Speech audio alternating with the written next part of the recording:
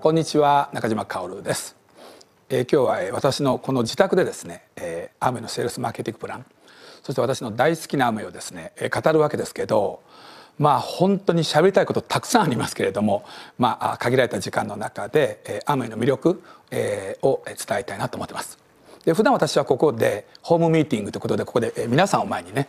え、話をするんですけど今日誰もいらっしゃらないので、えー、DVD のこれを見てるあなたに向かって、えー、お話ししたいと思います。まあ、誰もがそうだと思うんですけれどもある日いきなり、えー、電話がかかってくるかもしくは会いたいということで、まあ、この雨のね話が飛び込んでくるわけですけれどもそのアムウェイをですね最初から来るのを待ってる人で多分誰もいないと思うんですね。というのはこの話が来た時点で一体それが何か、えー、理解できないそれがビジネスと言われても大体自分が今仕事してますからこの自分が仕事を持ってる時にまた新たな仕事の話っていうことになりますと大体皆さん敬遠するもしくは困惑をするという感じだと思うんですね。私は1982年5月7日に私の名前がアムウェイのコンピューターに登録されてるんですけれども私はある日ですね午後だったと思うんですけど自宅にいる時に紹介者スポンサーですね有馬七重さんから一本の電話が来ましてアムウェイって知ってるという話だったんです。でいつも私はその七井さんの仕事ぶりを見てました。カフェバー経営されてましたのでそういう彼女を見ててその彼女がなんか面白い仕事だっていうんでまあとりあえず聞いてみようということで、えー、話はですね、えー、全部聞くことにしましたそして、えー、とりあえずミーティングというものをね、えー、見てほしいということで青山メトロ会館ですね、えー、そこに、まあ、行ったわけですところが入ってみますと、えー、その小さな会場にですね男性が私一人なんですよ。もう全員女性、えー、司会をされる方も女性。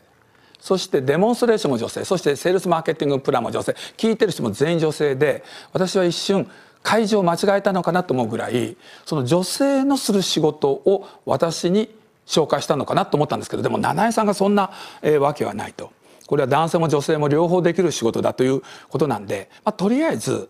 断る前に最後まで聞いてみようと。そして最後まで聞いてそれで自分がどこがえ、やりたくないのかなぜ自分は雨を、え、したくないのかそれを理由を探すためにずっと聞いてたんですね。ところがその商品を見た時に、え、当時食器洗剤掃除の洗剤そういう日用品なんですけど正直それを使ってみたいと心から思ったんですね。でこれを正直使ってみたいという気持ちになってますからこれが実はビジネスにつながる話をしますということでとってもこれはあの面白いなと思って自分は最後まで聞いたらまあ、えー、見抜いたんですね。もうすぐに始めました。あの本当にねこんな話が本当だったらどうしようというねもうワクワクして断る理由はもう全くなくて、えー、今日からどのように雨を始めようかというもうそちらの方のですねもう自分の作業的なこととかこの雨について非常に関心を持ちました。で製品がですねほとんど洗剤だったと思うんですけどですからその洗剤からその向こうに何があるかということを本当にわからないと多分このビジネスは参加する気にはならなかったと思うんですよ。私は洗剤の向こうにね必ず自分の、まあ、理想のライフスタイル、えー、そういう生き方があるんじゃないかということで早速雨をね始めることにしたんです。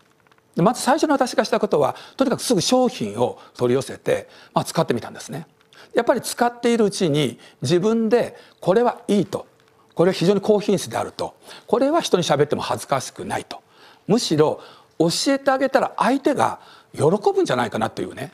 相手のために何が何でもこれ教えてあげないといけないという。私にとって雨を人に教えるということは相手が喜ぶものであると。そしてそれにビジネスを付け加えて説明するとこれは一つのチャンスではないかというそういう、結論になったわけです。そこでまずしょっちゅう会ってる人には絶対雨を教えてあげたいと思いました。なぜならば私が雨を一人で盛り上がってるよりはみんなとこのビジネスを分かち合うこの楽しむことが大事なと思ったんですね。でこのビジネスの最大の特徴は誰にもできるんですよ。これが私しかできないようなちょっと能力を追求するような仕事ですと教える人を選ばないといけませんけれどもとにかく自分の周りの人仲のいい人日用品を使ってる人ならとにかくま相手がやるやらないということは別としてとりあえず自分から教えてあげるということが一番大事なことだなと思いました。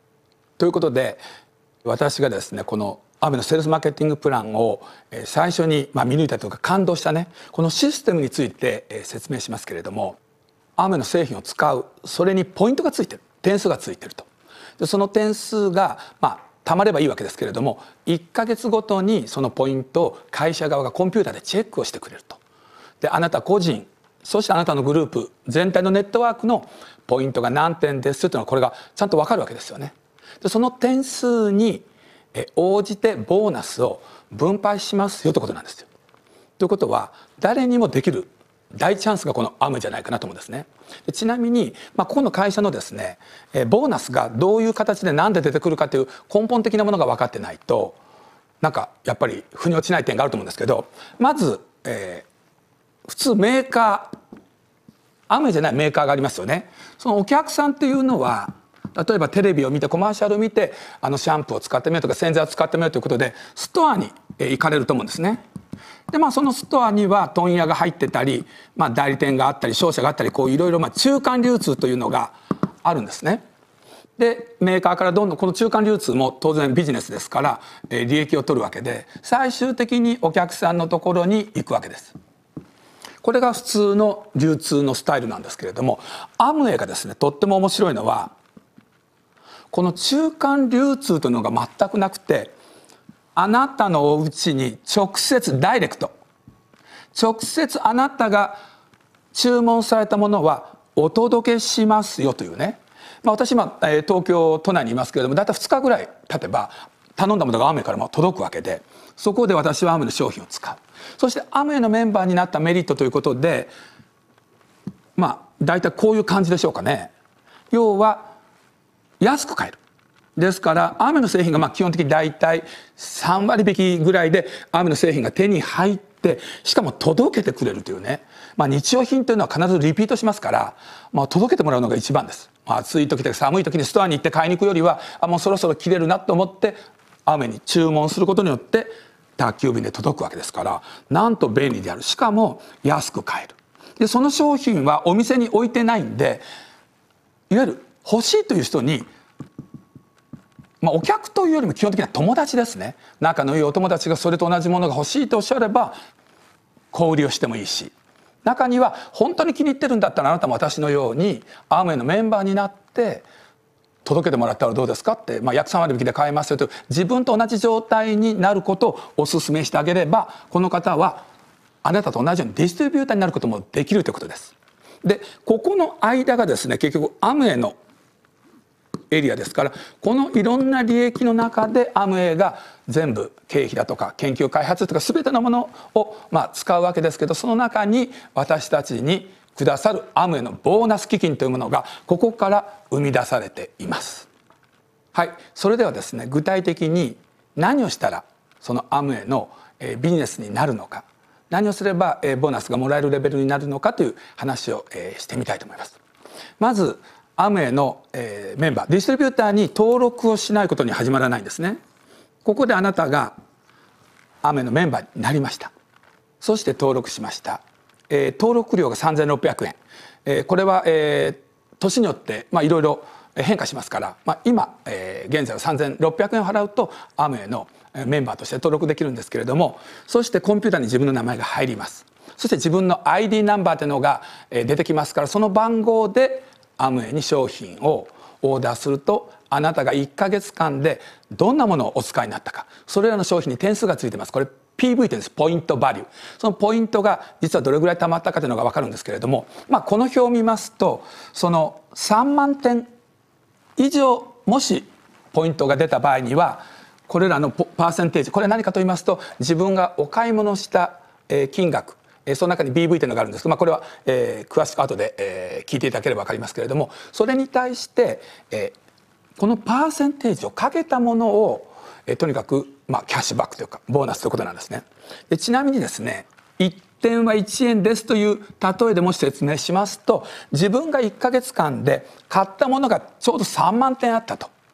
ということで、まあ、1.1円というふうに計算した場合は3万円のお買い物をしたわけですからそれに対して3%。ということは900円というものをボーナスとして自分が、えー、もらえるということなんです。でそれがどんどんどんどんこのまあバーがですねボリュームが上がっていくことによってパーセンテージも上がるわけですけれども1人で150万点を1ヶ月でアメ製品を使うなんてとてもちょっと考えられないですね。もうどんなに頑張ってもそれはなかなかいかない。で雨が言ってるのはお一人で150万点という点数を集める必要はございませんよと。あなたから始まってあなたが口コミで教えて差し上げた。その方たち全てがあなたグループとしての評価になりますよ。ってことなんです。私これを聞いた時にすごい可能性を感じたんですよね。自分一人の点だけで評価されるんだったら大体もう教えてますよね、えー、独身の男性が1人雨用品を1ヶ月使うのと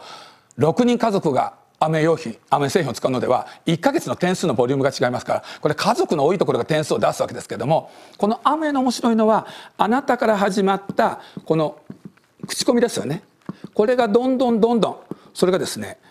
制限がないんですよ。お一人様6名までしか伝えてはいけませんとかそうないんです。もう自由にどうぞと。もう5人だろうが100人だろうがどうぞということなんです。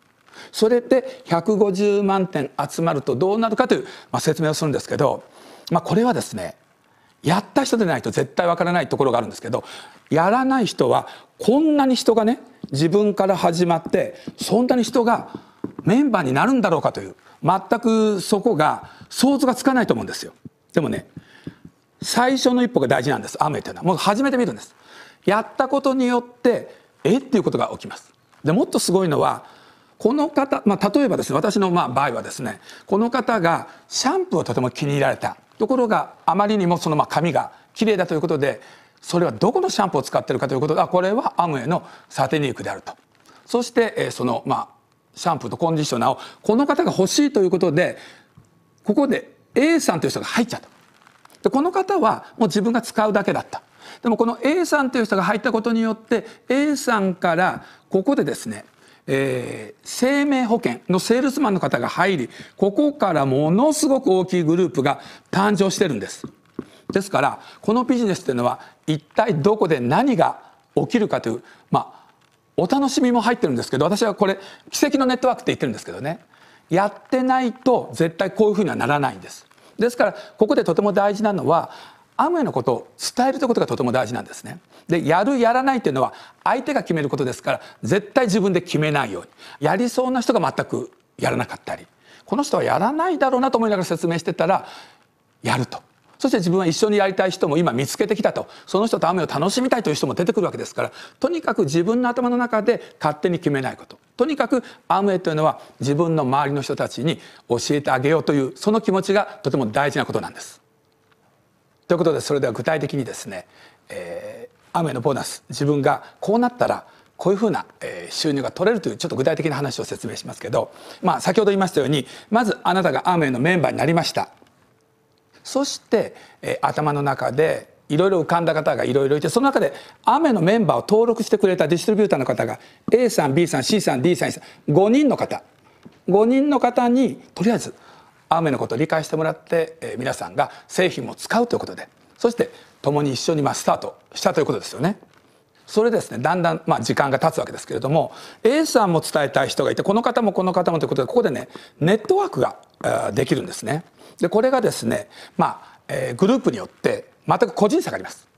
えー、人によって雨がとっても大好きな方あと製品を使うだけの方もいたりしまして、まあ、個人差があるんですけれどもちょっとですねこれグループによって点数が違うという、えー、例をしますと A のグループが1ヶ月で全部の皆さんの使った雨の商品のポイントがですね50万点そして B は40万点 C が30万点 D が20万点 D が10万点というふうに全部バラバラのですね、えー、結果が、えー、1ヶ月締め切ったら出てきたわけです。そして、それらのですね、A さんチームはどれぐらいのボーナスを取るチームなのかということで50万点ですからここでこの表を見ますと36万点以上のところに来てます。60万点までいってないんでここになります。12%ですから50万円のえー、点数は、まあ、さっき言ったように1点が1円というこれ仮説です。1点が1円ということで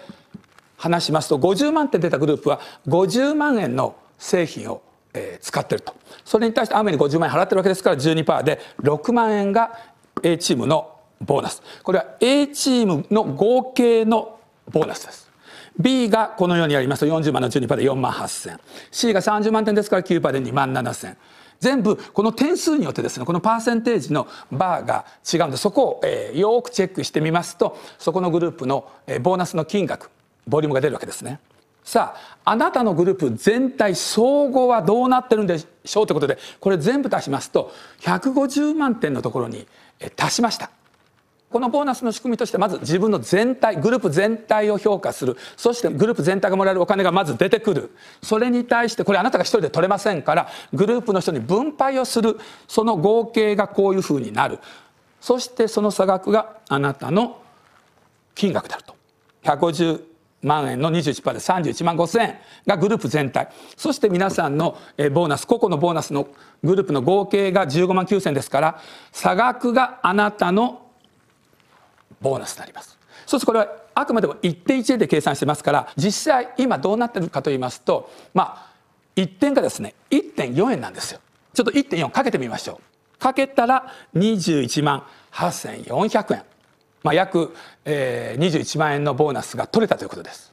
ということはあなたは150万点を達成した時に21万こういう形でもし達成した場合には21万8400円ちなみにですこれ私は、えーまあ、30年以上アムやってますけれどもそうですね150万点の点数を集めようと思うとその数人ぐらいじゃなかなかいかないです。まあ個人的に私は37人グループが本当にアメの商品を使う、まあ、アメファンですねアメの商品は大好きだとでなくなったらすぐまたリピートして使うという本当にアメの大好きなファンクラブの人たちがあなたのグループで大体トータルで37人ぐらいいれば、まあ、目処として150万点は夢ではないという、まあ、私はそう思っても今日までずっと来てて大体そのラインに行ってるわけです。ですから人数が少ないと150万点は厳しいです。でも雨のメンバーになる人がどんどんどんどん日増しに増えそしてあなたも雨を伝える人がどんどん出てくることによってこの150万点というのはとても難しい数字ではありません。やればできるんです。ただすぐには難しい。ちなみにこの図を見るとこのグループは点は出てますけどあなたは点が出ていないという計算でやってるんですけどこれはですね絶対雨の人は自分の絵で使ったり友達に教えたりしますからあなたも点数が実際出てるんです。でその点数を追加してここで合計して150万点あなたがもし3万点出てれば153万円かける21%で計算されると正確なものが出るところです。まあ、あくまでもこれは分かりやすくするために単純に5040302010そしてあなたがまあ一応これは0ということで計算してますけれどもあなたも当然雨の製品を使います、えー、私も個人でですね3万点は大体個人で3万点は出してますから自分の絵で使うものとか、えー、友達に分けてあげるとかそういういろんな、え、点数があるわけです、まあ、中には1万点の人もいれば5,000点の人これノルマがありませんので何点使わないといけないというあの決まりは全くありませんから本当に自分の自由なスタイルでこのビジネスを、え、楽しむことができるわけです。さあどうでしょう？1ヶ月で150万点というとてもこういうバランスのいいグループを作り21万8400円というボーナスが来るわけです。じゃあ来月このお金が必ずもらえるかとこれ給料じゃないんです。雨というのは。これをもらったからって必ず次の月にこれが来るとは限らない。場合によっては来月もっと雨を使う人がグループで増えたと。まあ、極端な方でいうと30人ぐらいの人がグループ全体で増えてきてそこからまあ浄水器も売れたりサプリも売れたり日用品も売れたりということでなんか想像以上の点数が出たということになると当然30万円ぐらいのボーナスを取る方も中にはいるわけでこればっかりは給料じゃありませんからもうグループの点数によってそしてその個々のボリュームによって計算されるこの仕組みっていうのはとっても平等なんですね。で一見ですねこれを見た時に上にいる人がなんか儲かるんじゃないかというふうに、えー、たまに勘違いする人がいます。なぜかというとあなたを中心にして喋ったからですね。でもあなたがこうグループを作ってるからあなたが一番上にというイメージがありますけどこれはもう別にどうでもよくてここがあなただとしましょう。そしたらあなたを中心にまた A だの B だのやりますから結果的には同じ数字が出ます。というのはアムウェイはどこのポジションにいてもこのような形をあなたから始まったグループを作れば21万8400円は取れるわけです。ですから先に入ったからとか後に入ったからとか全くそういうのは関係ないんです。もう始めるのに遅すぎることはありません。ですから今日これを聞いた方はぜひアムウェイのメンバーに登録してそしてその高品質の商品をですね、え使ってみてそしてそれをえ皆さんに話す伝える。これがアムウェイの最初の、えー、大事なことなんですね。さあここでですねじゃあなぜアムウェイが150万点に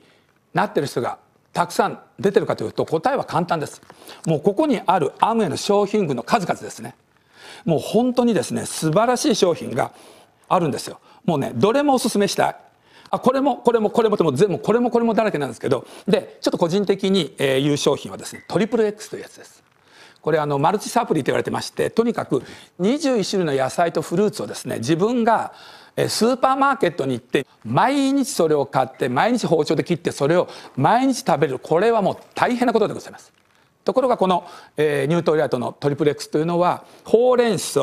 そして、え、クランベリーそしてブドウアルファルファ人参ローズマリーまだ他にもあるんですけれどもこれらの商品を、えー、とにかく有機農法で作りそしてそれらを、えー、全て特殊な技術でですね、えーまあ、水分を抜いて、えー、中身を全部乾燥させてそして栄養たっぷりの粉パウダーができてそれを粒にしたものを私たちは毎日こう頂いてる。それと水を一緒に飲んでやってるんですけれどもまあこれ私の場合ですけど、えー、画面を見てる皆さん私何歳だと思いますか？私が私服を着てえー、いる時に大体ですね年齢当てれないんですよ、えー、実は私今63歳なんです、えー、1952年3月7日生まれで63歳には見えない。それで、まあ、2年前ですねタイのロイヤルと食事をした時ですね、まあ、タイの、えーまあ、お姫様が年の話になって私の年を聞いてそれはどうしたものかと。そあなたがそこまで若くなってる原因は何ですかと。でも私はもう答えは一つです。私の場合はね。私はこのトリプル X プロテインアムウェイのいろんなサプリというものを、えー、愛用してますからこれらのものを習慣づけてると。その食べたり食べなかったり忘れたりとかそういうのじゃなくてもう習慣なんです。うちの食卓に必ず置いてありますからもう食事と一緒にそれを口に入れると。それをずっと続けてるとこういう感じですよっていうとそれと同じものを自分も欲しいと。まあ、これはストアで売ってませんからこれメンバー登録されないと、えー、購入できませんよってことになるとすぐメンバー登録したいと。ですから、まあ、私はそういう意味でこのトリプル X というものを愛用することによって自分がアピールしてるかもしれません。私の場合ですよ。その他ですねこの中にはもう今日は時間の関係であれもこれも喋れないんですけどもう教えたいものがいっぱいあります。このアーメの製品というのはやっぱりこれだけいいものを作れば人も使います。そして使って気に入れば喋りたくなります。ですからその自信のない方想像もつかない方これは全くやってないからいつまでもそこに陥るわけでまず一歩踏み出す。メンバー登録して番号を出して製品を取り寄せて使って本当に素晴らしいということを実感されてそしたらもう人におすすめです。ですから雨の商品というのは売るというよりおすすめしたくなるもののオンパレードなんですね。ですから誰もができる。そして誰もがこのビジネスによってライフスタイルを変えることができる。そういう、えー、ビジネスですからぜひあなたもこのマーケティングに従って雨を楽しんでみてください。実はこの雨のビジネスというのはですね、まあ、素晴らしい、えー、魅力がまだまだあります、えー、それはあなたの雨のビジネスのその状況構築具合によってですねこのレベルに到達した方はこういうピンレベルがありますよとまあ、それがシルバープロデューサーだったりダイレクトディストリビューターそういう、えー、ビジネスのですねそのレベルによってアムウェイから用意されているものがあります。それでそれらのもので大体年収というのが、まあえーまあ、個人差はあるんですけれども大体出せるんですね。ですからこの後この DVD が見終わりましたら一緒に見てるアップラインの方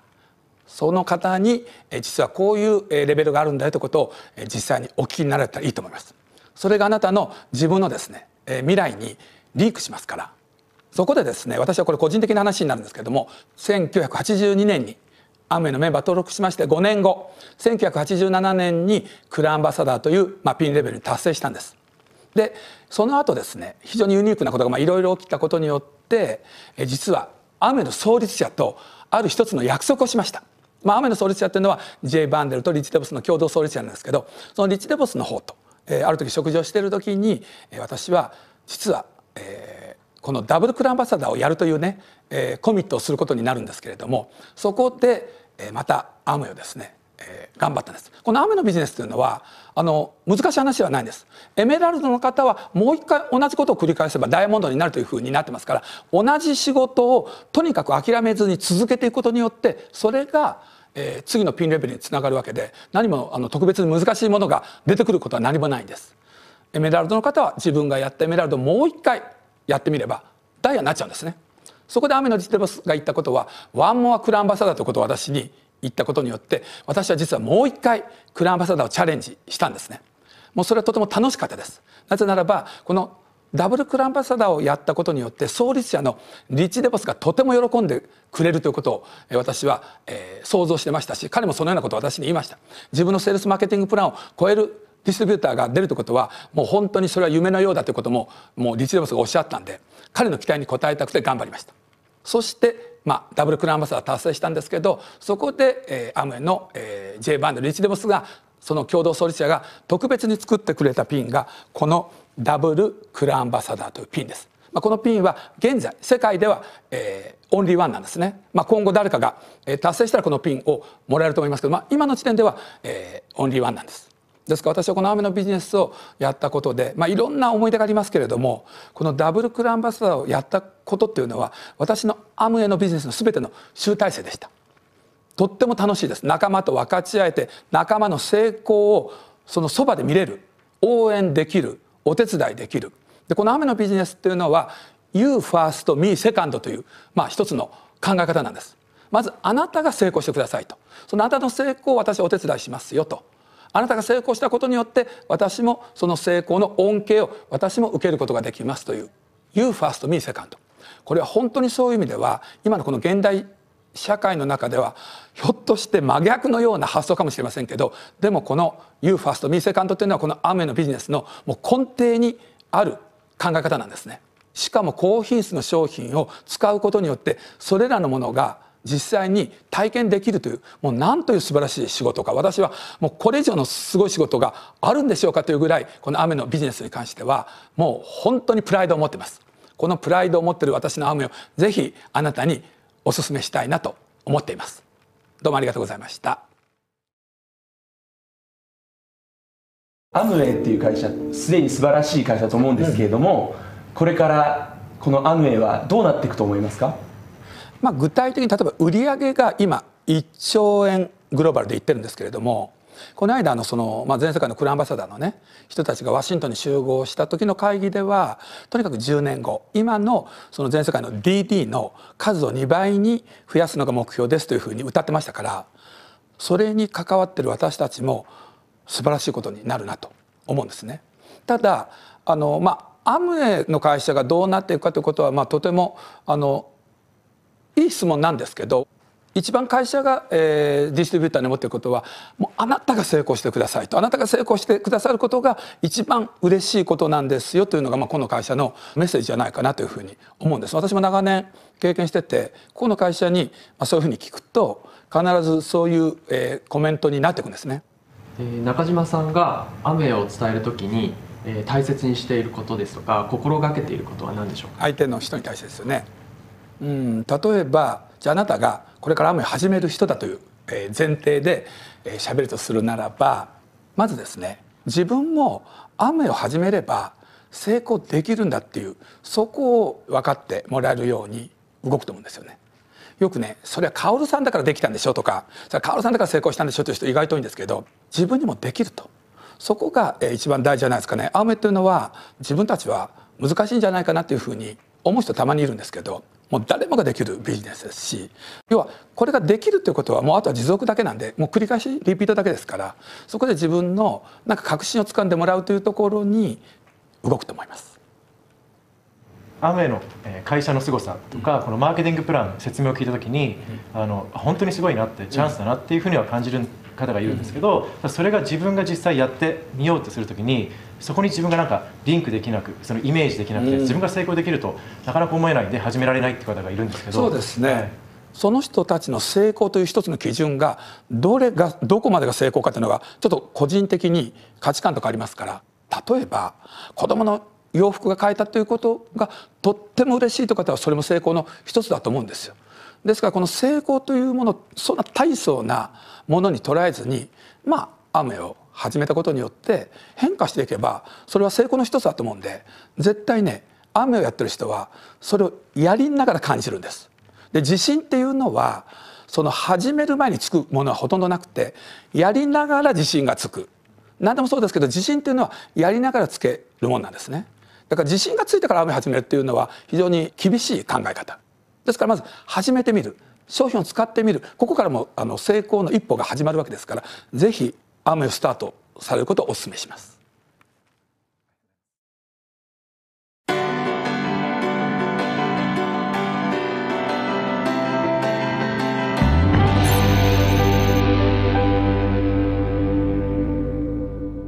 私はライフスタイルですね。雨って何？っていうと私の場合はライフスタイル。もうその人がこの雨というものを取り入れることによって人生の中でいろんなまあ生き方ができるわけですけどやっぱり自分の思ったような生き方、まあ、それにはやっぱり自由というものが大事だと思いますけど思ったような生き方を人に迷惑をかけずに生きれるそのライフスタイルを雨が提供しますよっていうふうに私は思ってるんで雨って何何って言われたらライフスタイル。あのねこの部屋に入ってそこから見る風景がイタリアのポルトフィーノにすごく似てたんですよ。でたまたま5月にポルトフィーノに行ってだからこここいいいいかなって思って。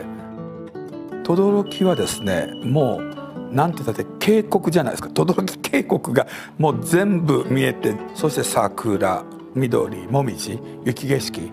ちょ自分のこう生きていくこのフォーシーズンにとってもいい場所だなと思ったんですね。あのそれだけいろんな風景が見れる山にないじゃないですか そういう意味で。だからこれは絶対手に入れなくちゃということで。冬に近づく秋もみじがすっごい綺麗でもう真っ赤なんです。あのもう最後ですねあれ。あの本当にいいんだろうかこれでと思うくらい幸せな気持ちになります。あの家で一番好きなのは一番奥にある和室ですね。あそこだけがちょっとあのうちの家の中で洋風な家ですけどあそこだけはもう和ですからで結局人が来た時あそこで接すること多いんですよね。まあ、おもてなしするのもあの畳のところですし人が来た時あそこで、えー、接してますからあそこがやっぱり一番気に入ってますね。とにかくスケジュール帳をもう必ず見る寝る時も見る昼間も見るというふうに私がやってることで一番多いのはとにかくスケジュールを眺めることそれによって、まあ、いろんなアイデアが出たりすることを決めたりしてるわけですね。まあ、やっぱり運動しないともう私の場合食べ物が食べ物ですからもう外食が多いわけですから運動だけはとにかく気をつけてますけどあの深夜テニスというやつをね、まあ、仲間がいて毎週週1回、えー、夜の12時から朝方の4時まで、えー、皆さんと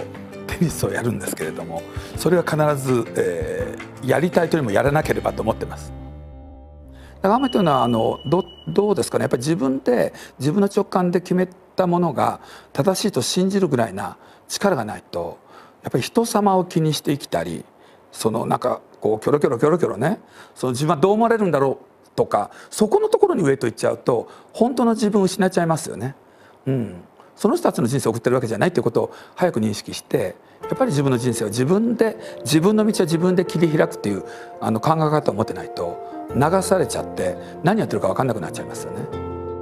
まず私は座右の銘っていうのは基本的に総理さんが作ったリッチ・デボスが言った「You can do it too」ですねあなたもできるこれはもう今でもそう思ってます。だから私は今でもあの雨を伝えてますしスポンサリングしてる時にああなたもできるからやればっていうねその何て言うんだろう調子がいいとかいうよりも心からそう思ってるわけですよ。何の下心も何もなく素直に言ってるわけです。だから「You can do it」っていうのは素晴らしいあのシンプルであの深いなと思うんですよね。であとねこれはちょっとまあ余談になるんですけどあるその経済社が雑誌がねそのいろんな世間の会長とかその社長にインタビューした後最後に必ず聞くというコーナーがあるらしくてホトトギスが泣かなかった時にそのまあ織田は殺してしまええー、徳川泣くまで待とうとそれで、えー、豊臣が泣かせてみせようというねこの3つを、まあ、あの皆さんが言ったわけですけど中島さんはこのどれに該当しますかって言われたの。でまあ、泣かない鳥をね殺す必要もないしその泣かない鳥を泣かすなんてそんな器用なことできないし泣かない鳥がいつ泣くかわからないしそれ待つのも嫌だし私3つとも無理って言ったんです自分は。で勝手に作っていいですかって言ったら「え？っ?」て言われて「あの私自分で作りますって言って何ですかって言って泣かぬなら泣くやつ探すホトトギスって言ったんですよ。もう泣く鳥なんか腐るほどいますからその一匹にねその、まあ、一匹一羽その一羽の鳥が泣かないことにね固執して振り回されるの嫌だって。な泣く鳥いるでしょうかにって。これ私アムウェイのことを言ってるんですよ。その人がやらないからってずっとそこにね固執する。よりもうアムウェイやる人なんかもういっぱいいますから世の中。そっちに目を向けたらって言ったんですね。そしたら過去勝手に作った人が2人いると。1人はあなたでもう1人はね松下幸之助さんだって言われたの。幸之助さんちなみに何とおっしゃいましたかって言ったら泣かぬならそれもよしホトトギスとおっしゃったんです。だから皆さん本当にその泣かないホトトギスを見てもそれだけいろんな考え方とか価値観があるわけですから、まあ、アーメンに関しても、まあ、いろんな人がこのビジネスをやってるわけですから、まあ、そういう意味ではねやっぱり自分の座右の目っていうのがあればそれが何か揺らいだ時に、まあ、心の励みになるかもしれません。私はそういう意味で泣くやつ探すホトトギスというタイプですから何が起きても次に行くわけですよね。うん、根本的なところで言うと雨を教えてあげた人の成功のお手伝いができてそれをしたことによって自分も充実感を持つというこれを人生の中でずっと繰り返すのが夢です。